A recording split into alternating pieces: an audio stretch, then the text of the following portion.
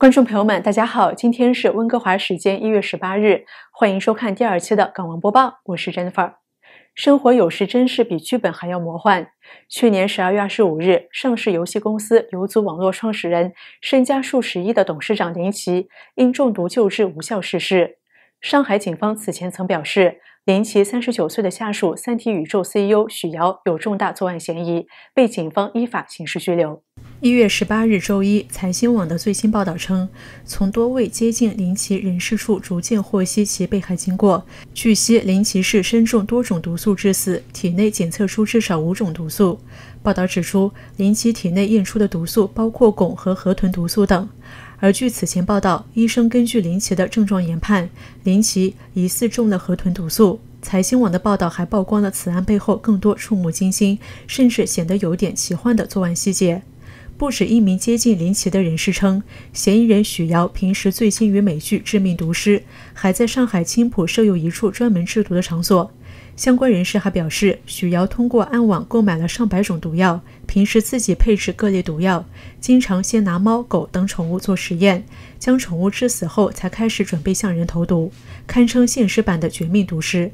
财新的报道还详细描述了投毒经过。许瑶将预先准备的一罐三十粒装有益生菌药丸送给林奇，并将毒药调包混入，并透过林奇的秘书督促他服用。而林奇的秘书也服用了相同的益生菌药丸。林奇在服用几天后吃到毒丸，随即出现恶心及头痛等不适。并于去年十二月十五日入院治疗，十天后不幸离世。另外，这一案件中，林奇并非唯一的受害人。据悉，游族公司共有三名受害者，除林奇外，还有一名游族网络员工以及三体宇宙副总裁赵吉龙。幸运的是，其他两人都没有被毒死。报道称，许瑶与赵吉龙长期不睦，在工作中存在竞争关系。许瑶对赵存在蓄意投毒的嫌疑。经多次检测后，发现赵继龙慢性中毒，体内汞超标近十倍。经治疗后，预计近期可以出院。林奇中毒身亡的事件发生后，游族公司人人自危，大家都非常恐慌。近期很多高管都纷纷去检测自己是否中毒。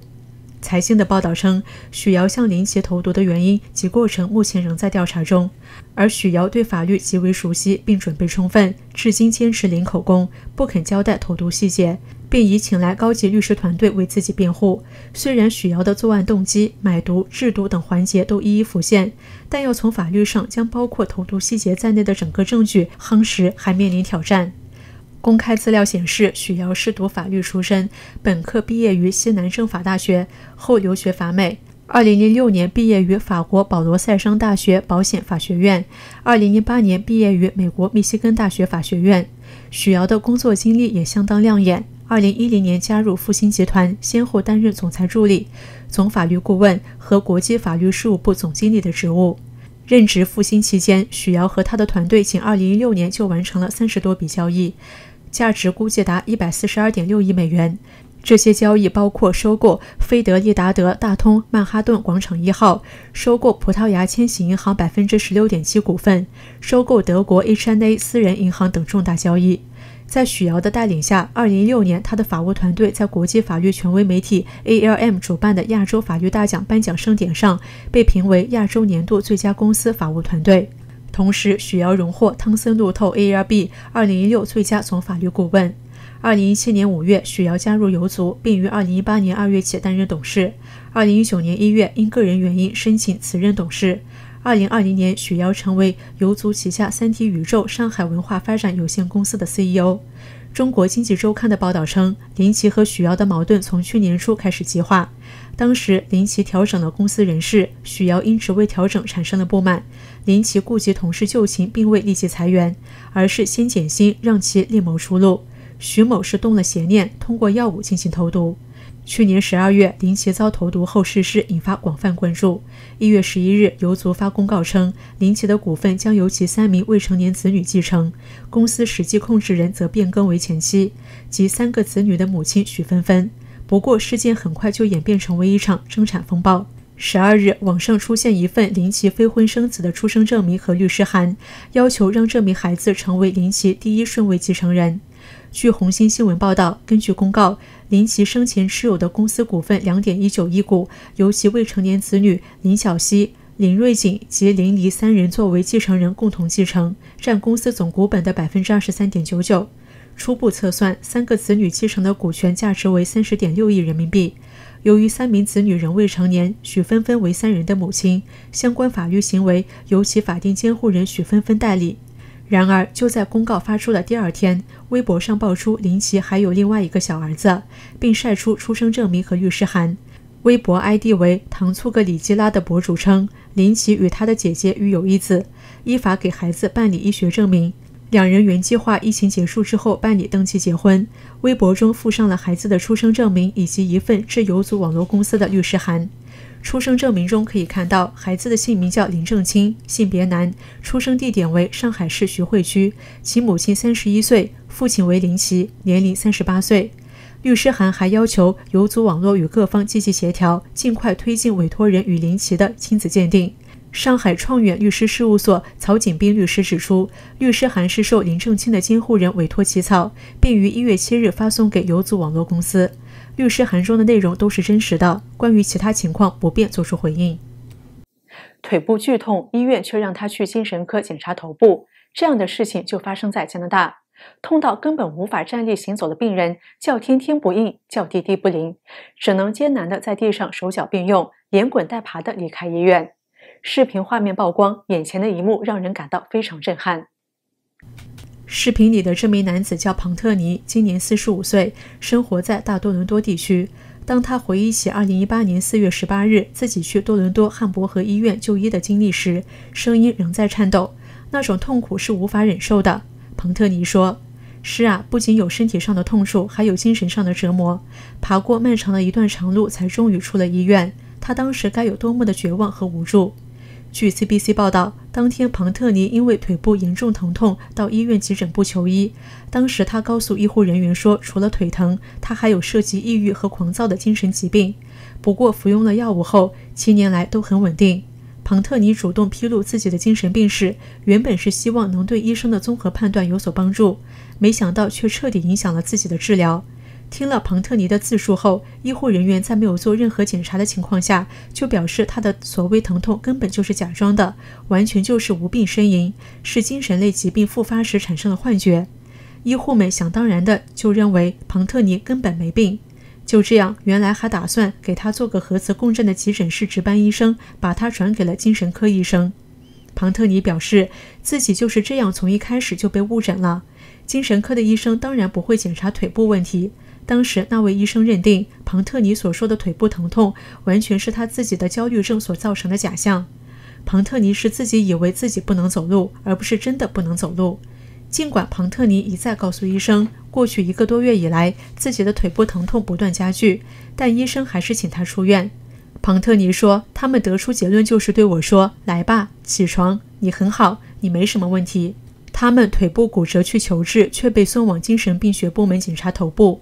加拿大皮影及精神健康中心医生兼主治医师 V.K. 表示，类似的事情并不是第一次发生。患有精神疾病的人，他们的身体健康问题容易被严重忽视，而这会导致他们的寿命严重缩短。就这样，精神科医生告诉庞特尼，他可以离开医院了。知道自己肯定得不到治疗了，庞特尼只能试着离开医院。他当然希望自己像医生说的那样，什么病也没有。可实际情况是他连站都站不住，很快就摔倒在地上。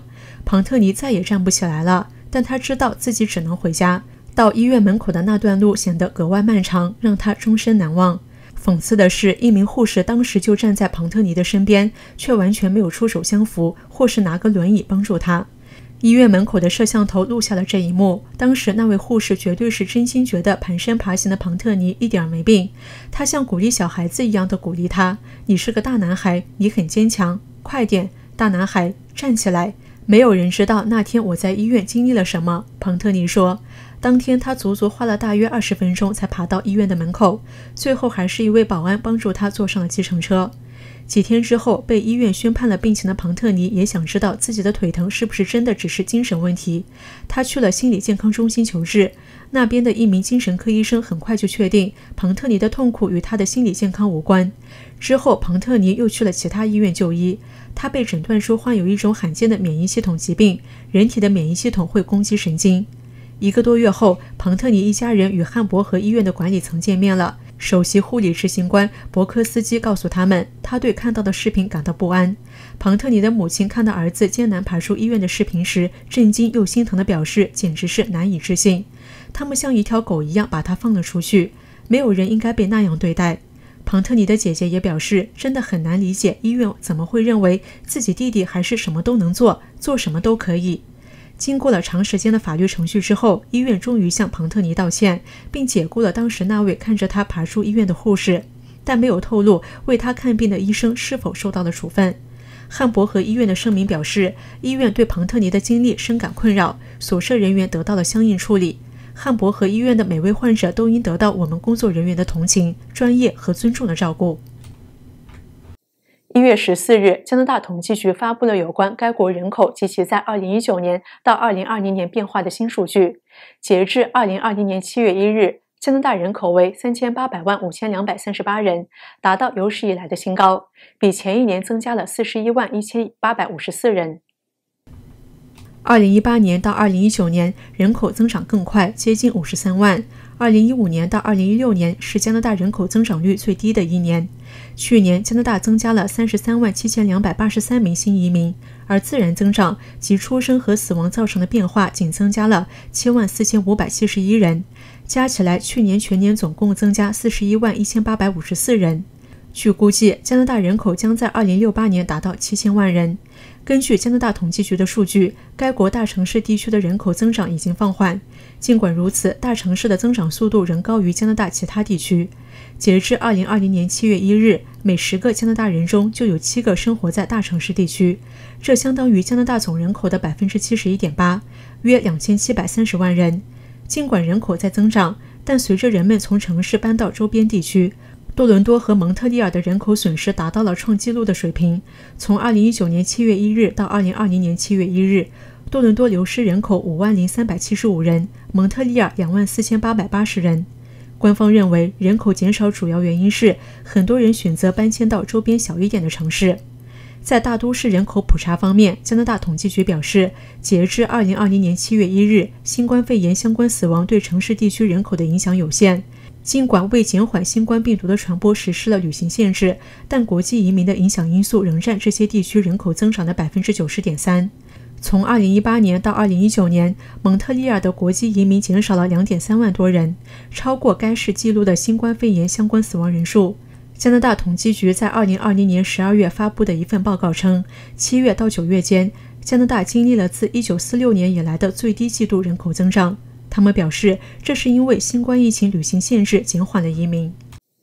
以上就是今天港闻播报的所有内容，感谢您的收看。如果您喜欢我们的节目，请点击屏幕右下方订阅我们的频道，同时也欢迎您点赞、转发、分享我们的视频。我们下期再见。